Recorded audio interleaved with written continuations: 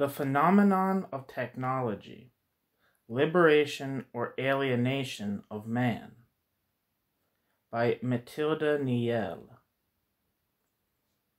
Mathilde Niel has in recent years devoted herself to the critique of the mores and social institutions of alienated society. In connection with this research, she has lectured regularly at the Sorbonne and has published numerous papers, among which are the humanistic psychoanalysis analysis, the, the humanistic psychoanalysis of Erich Fromm, the failure of love, microphysical and metaphysical ebb, and Boris Pasternak in search of an overt humanism.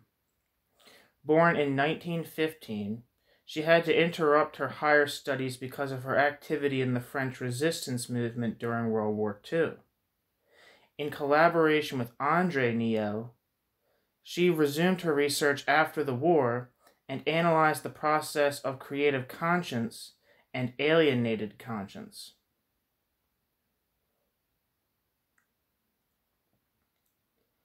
The problem I intend to discuss is certainly the most serious which confronts modern man.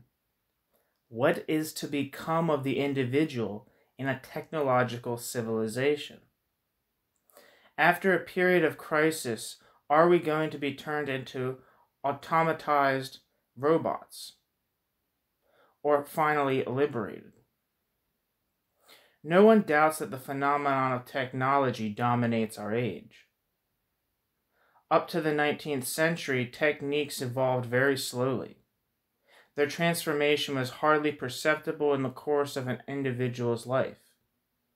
At present, technological development is accelerated and invades not only working life, but also family life and leisure time.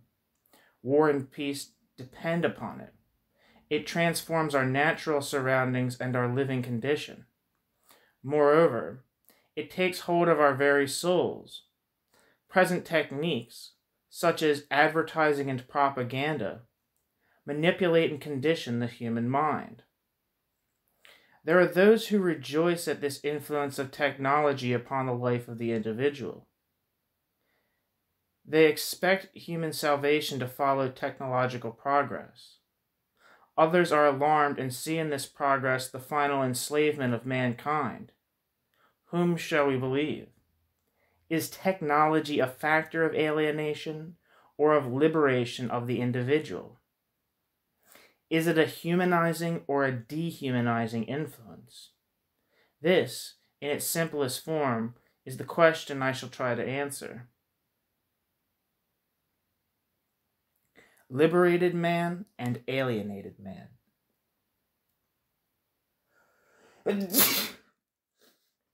What exactly is to be understood by liberated man and alienated man?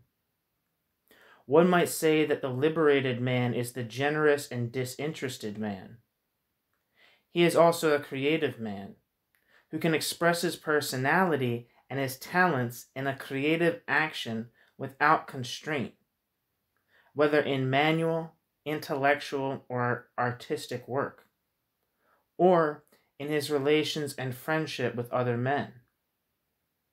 The free man is one who feels himself at the same time fully himself and in accord with other men.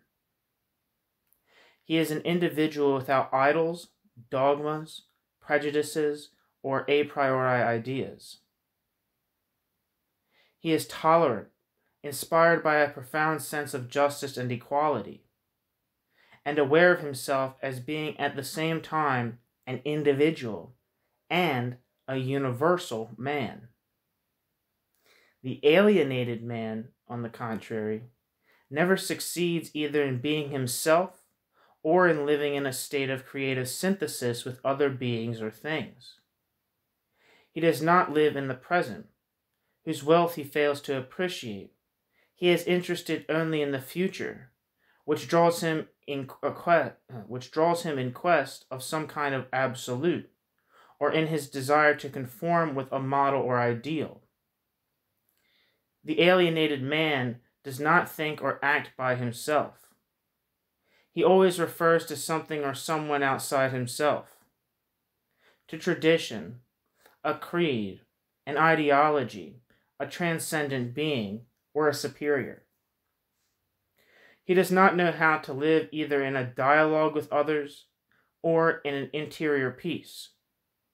He always needs someone to worship or to serve, to hate or to fight. He spends his life in pursuing something, either a material end, which has been turned into an absolute, desire for wealth, comfort, the symbols of prestige, or a spiritual end, also turned into an absolute, which leads him to disdain life and the world. Sometimes he believes he has attained this absolute good and then he is joyful and exalted. At other times he feels frustrated. Then he is miserable and depressed. His life is passed in desiring, hoping, despairing, worshiping, and despising. The alienated man is tense, embattled, violent. He is narrow, intolerant, and authoritarian. He is the passionate man, but he is also the pusillanimous, pusillanimous man who fears authority, who is afraid of not thinking and acting like everyone else. He is cowardly, timorous, conformist, the gregarious man. The liberated man, generous and creative, is not utopian nor is he an abstract model to follow. The liberated man is an is in us. The liberated man is in us. Without this creative man, there would never have been any sciences, any art, any acts of solidarity, any tolerance or social progress. There would never have been any close knit families or faithful friends. But we have to admit, unfortunately, that in the individual, as in society, the forces of liberation have always encountered the forces the forces of liberation have always encountered the forces of alienation, and that the forces of alienation have usually triumphed. At the present time, the forces of dehumanization are so strong that the individual and the whole human species are in danger. But, at the same time, the number of people who are becoming educated, who read good books and listen to good records, is increasing, and human solidarity is growing. Alongside contempt for man, there is respect for man we have to consider whether the development of technology will be undertaken with respect for man or with contempt for man.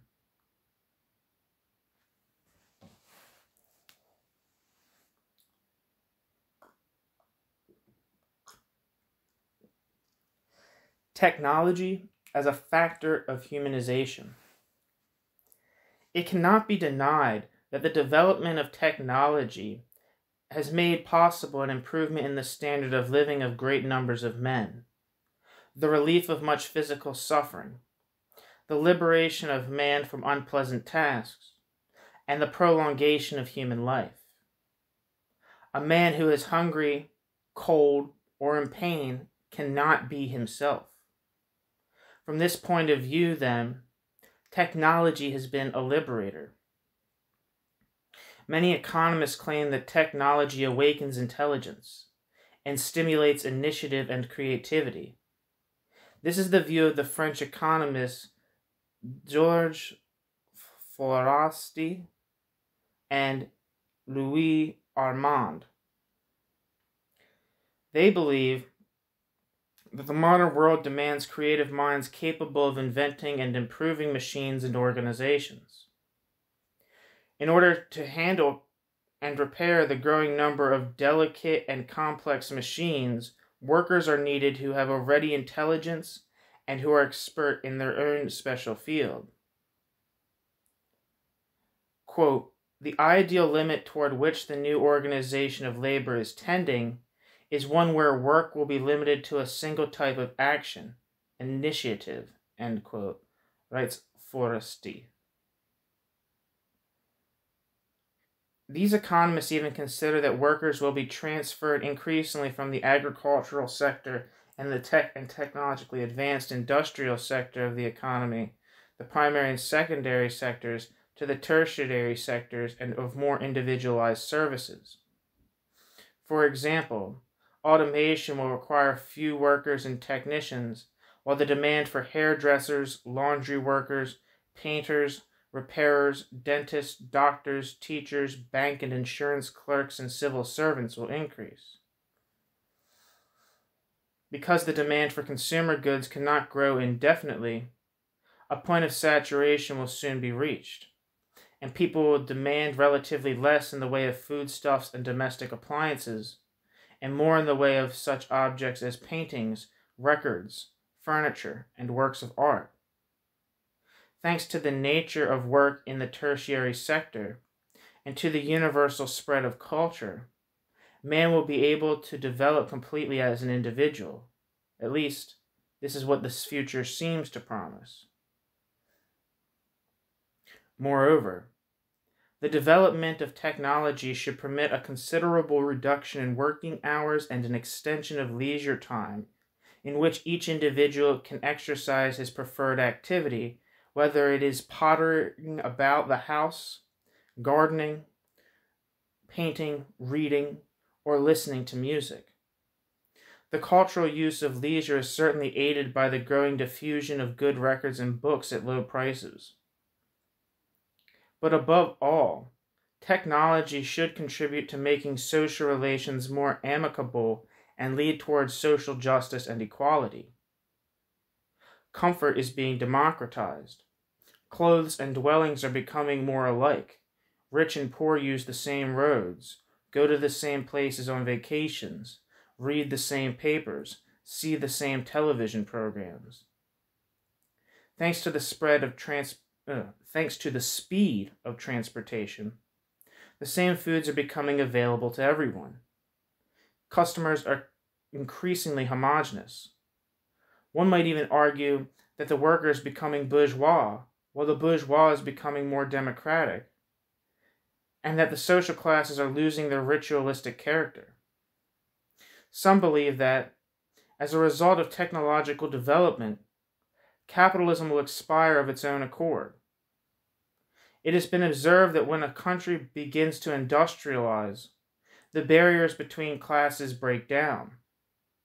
Nehru has said that the caste system becomes impossible in a train or on a factory conveyor belt.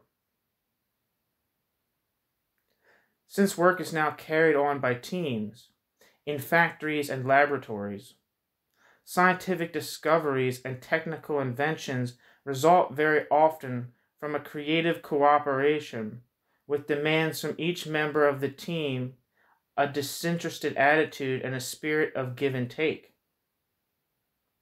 Finally, the modern techniques of transmitting information allow individuals to take an interest in men and events throughout the whole world. Science, television, literature, music, and film cross national frontiers which tend to be increasingly unimportant. Louis Armand considers that in a technological civilization, quote, international cooperation becomes more and more imperative, end quote. And that, quote, everything urges us towards sharing on a planetary scale, end quote. In other words, a world civilization in which individuals, feeling their unity and no longer hounded by need or crushed by work, could become autonomous and creative. This is the wonderful prospect which technology offers. However, we need only look around us to see that we are still far from this golden age. What, in fact, does a technological civilization offer us in the mid 20th century? Sprawling towns in which the air is polluted, vast business enterprises and impersonal government departments, a press and radio that exploit the lowest human sentiments and the most vulgar taste of the public, and colossal sums of money spent in preparing the most monstrous kind of war. Everywhere, anguish and increasing mental illness, and the general retreat of democracy in the face of totalitarianism and dictatorship. Is this hostile and menacing face which our technological universe presents. We have the right to ask, then, why it is that technology, which could liberate the individual and break down barriers in the world, contributes, on the contrary, to the alienation of man. Technology as a factor in alienation. Ever since the 18th century, but especially in the 19th and 20th centuries, scientific and technical discoveries have provoked a decline of the old religious, moral, and social values. In the words of Jacques Ellul, they have eliminated the sacred from the world. Unfortunately, man has made technology sacred. Instead of being treated as a means to make life more human, it has become an end in itself. The objects created by technology, whose workings are not understood by most consumers, have become mysterious, the objects of a new cult. The occupation of a technician has a quasi religious attraction. Like the priests of the ancient civilizations, the technocrats, physicists, engineers, and economists constitute a ruling class which dominates the ignorant masses by its mysterious knowledge, its power, and its high rewards. The development of technology has given rise to a new morality. Useful research, submission to the needs of production and output, concern with quantity and efficiency have become the virtues of the new morality, the technological morality. On the other hand, disinterested research, art, poetry, philosophical thought, etc., have become new mortal sins. Professor Rubal of the Faculty of the Sciences at the University of Nancy, or Nancy, uh, for some reason I don't feel like would say, I feel like it's pronounced Nancy if it's French, but I don't know. Uh, boast of feeling a real contempt for the human sciences. What is needed above all, he writes, are genuine mathematicians, physicists, chemists, biologists, and geologist, and nothing else. All the rest is only dangerous and sterile palaver. As Jacques Ellul has shown very well, the technological totalitarianism which already exercises such a strong religious and moral influence is insinuating itself into our family life, leisure, and education. Technological totalitarianism dominates political life itself and threatens the liberty of the citizen. Propaganda, even in the democratic countries, makes abundant use of radio, television, and the press and increasingly conditions the electorate. Moreover, the police employ more and more advanced techniques for discovering opponents of the regime. By being placed in the service of the state and of ideologies, technology has become even more threatening. The combination of technology, state, ideology constitutes a super absolute, which aims to dominate the world and eliminate its opponents. It is in the name of this collective super absolute, raised to a tyrannical God, and disregarding the profound needs of individuals, that the state formulates its plans for expansion. Like other religions, technology promises a paradise for the individual, a paradise which is no longer in heaven but on earth, in the future. quote, let us take an interest in the future rather than the present, end quote, Louis Armand proposes. Later on, we shall at last attain the golden age of the quote, tertiary civilization, quote, of which Fourastié dreams, or the communist paradise of which Marxist materialism dreams. In the meantime, men alienated by the new religion must be patient, bear their sufferings, and actively prepare their own virtual destruction. In order to help resign the alienated masses to the failure of the Golden Age, an immediately tangible form of happiness is promised that which is acquired by possession of the material goods which technology produces. The acquisition of a new car, a new gadget, a new object has become the religion, the goal of life of the majority of individuals in the rich nations. Sustained by advertising, the modern cult of novelty allows the individual to escape, through his desires, from a meaningless present. Once granted that technological man cannot find a means of expressing himself in the abstract, bureaucratic, mechanized, and subdivided work of large factories and offices, the attraction of an object to be acquired and the mystical conviction that its acquisition will bring happiness gives a semblance of purpose to his working day. In the words of G. Friedmann, quote, the individual, unsatisfied as a producer, tries to find satisfaction as a consumer. End quote.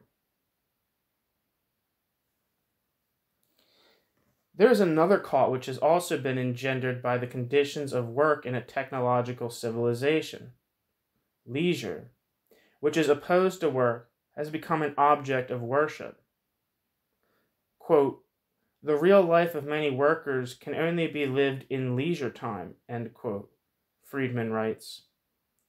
But how can a man who is alienated in his work rediscover himself in his leisure time?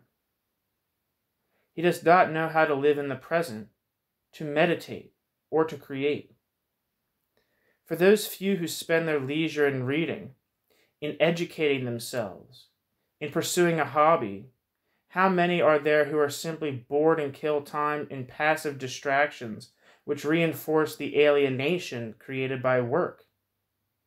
In France, the land of culture, 58% of individuals never open a book and the majority of the rest only read one or two books a year, for the most part detective stories and digests. When he returns home in the evening, often after a long journey in an overcrowded train, the worker or clerk finds himself confronted with numerous chores, including the form filling tasks which are multiplied by our bureaucratic society. But when he is finally free of his work and his social obligations.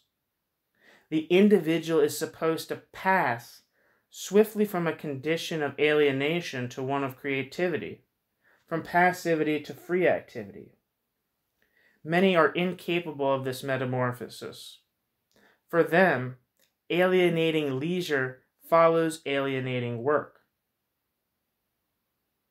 If only it were the case that, in this abdication of his individuality, modern man found at least a kind of happiness and relaxation. But it is not so. On the contrary, technological man lives in a state of extreme psychological tension. For many manual workers, work and reward are tied to the clock. Production is based upon a competitive system advertising creates a constant state of desire, and thus of tension. And the rivalry between individuals is carried to the limits of, quote, competitive display of purchasing power, end quote. The state of tension is accompanied by anxiety and is the cause of many psychosomatic illnesses. Not knowing how to employ his energies except in a life of excitement and tension, modern man no longer knows how to live in a state of relaxation. And so, by way of compensation, he searches passionately in his leisure time for this state of relaxation, which he no longer experiences and which he identifies with happiness itself. Relaxation has become one of the absolutes to which modern man aspires most strongly. But genuine relaxation cannot be an object of desire. Genuine relaxation comes from living in a permanent condition of self control and equilibrium, in working hours, in family life, and in leisure time. When relaxation becomes something exceptional, an ideal end, it becomes a new cause of tension. On the occasions when technological man could experience it, the especially during leisure time and on his vacation, he is bored and worried. In order to get rid of his boredom and anxiety, he flees from them into new tension producing activities. He frequents places where life is noisy and hectic, goes to the movies, reads magazines, drives his car, or wanders around the shops where his desire to purchase is excited. In other words, he plunges into useless activities and creates an illusion that his life is full and active. But the illusion of activity is not the only one which sustains technological man. We have seen that technology, confusing adaptation and creation, gives individuals the illusion that they are creative. Only a minority, which G. Friedmann estimates at 10% of the personnel of an enterprise, is engaged in work which requires initiative. These are the supervisors and the technicians of the planning office. The rest, 90%, are, quote, confined to the execution of specialized and subdivided tasks which are totally lacking in interest. Those who are aware of the illusions cherished by our technological civilization are harassed by doubt and indecision. What is to be done? Is it better to keep one's individuality, to exercise initiative, to be free and creative, and in consequence to live in relative poverty and without prestige? Or, on the contrary, to keep in step, to amass wealth, to succeed, by adapting oneself to the technological world? To reject social success, alienating work, and stupefying distractions is to become an outlaw, to be cut off from one's milieu, to be alone.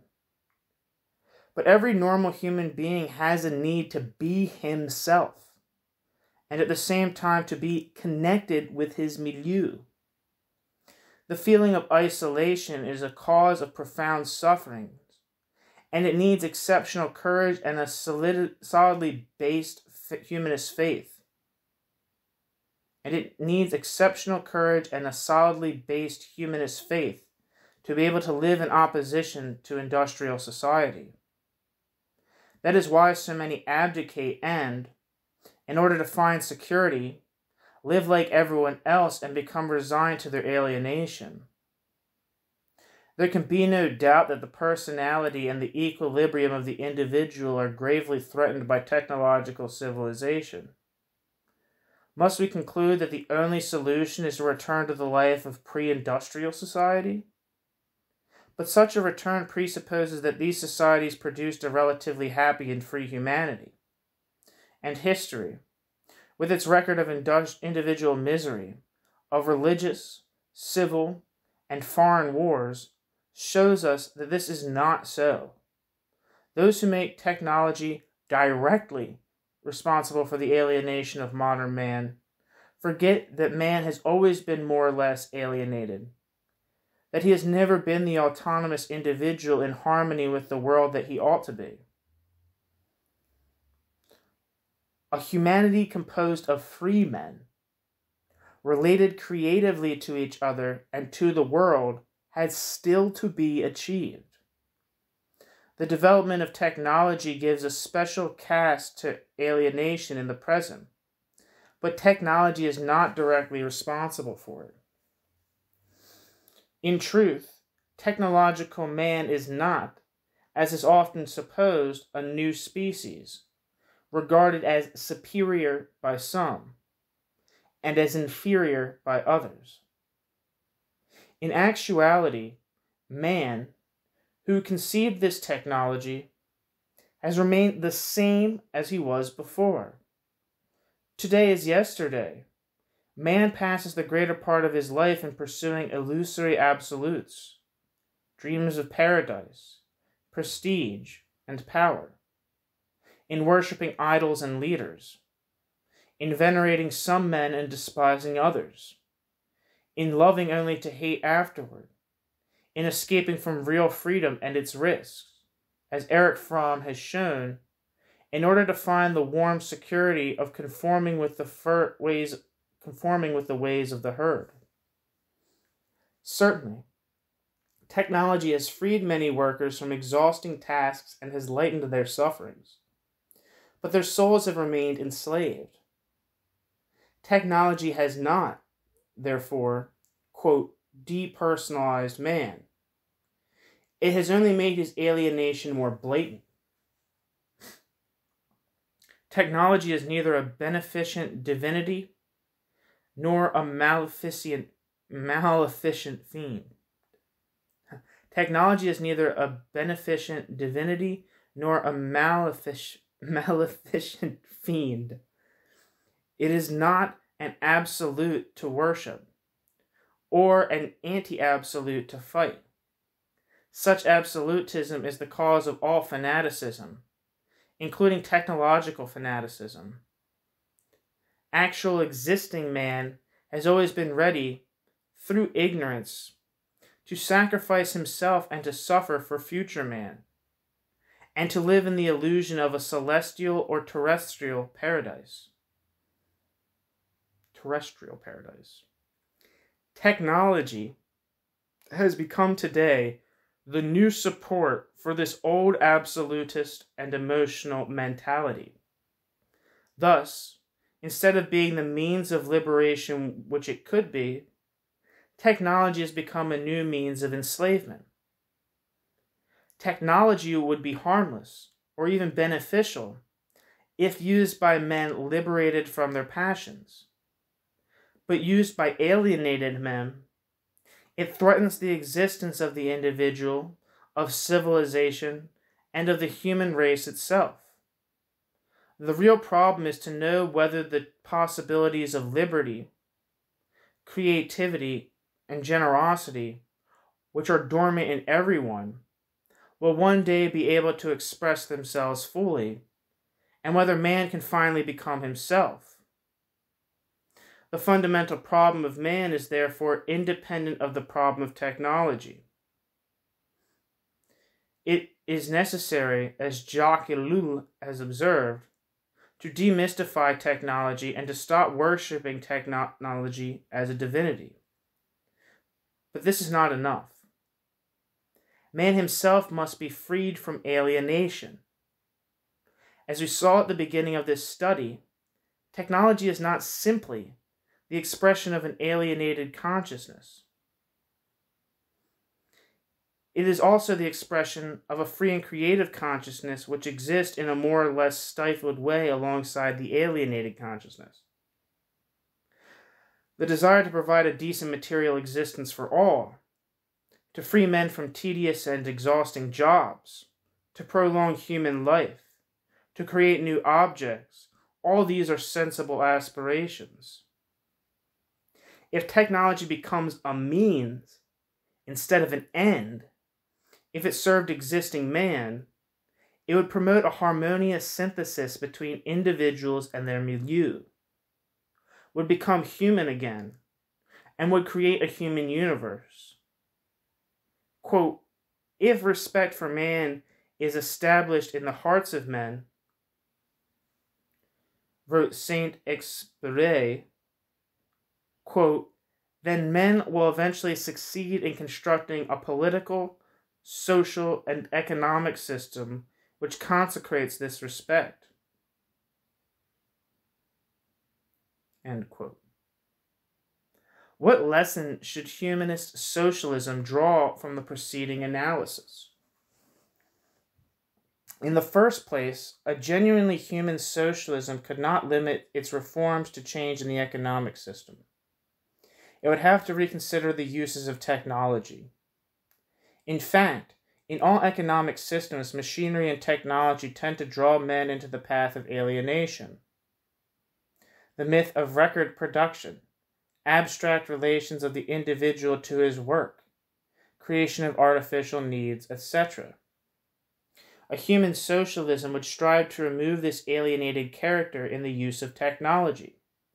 But still more, to free men completely from this alienation through an appropriate ethical code and through psychoanalysis.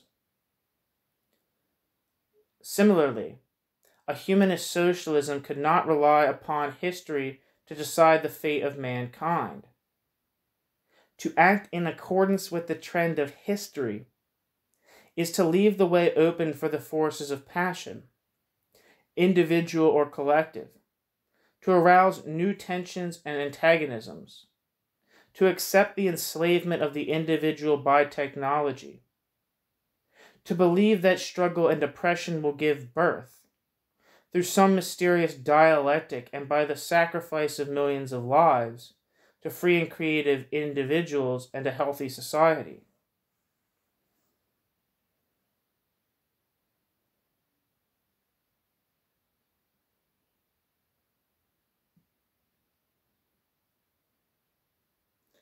But to speak frankly, machinery and technology have a natural tendency to enslave man, and they are likely to become just as dangerous enemies as the most inhuman type of capitalism.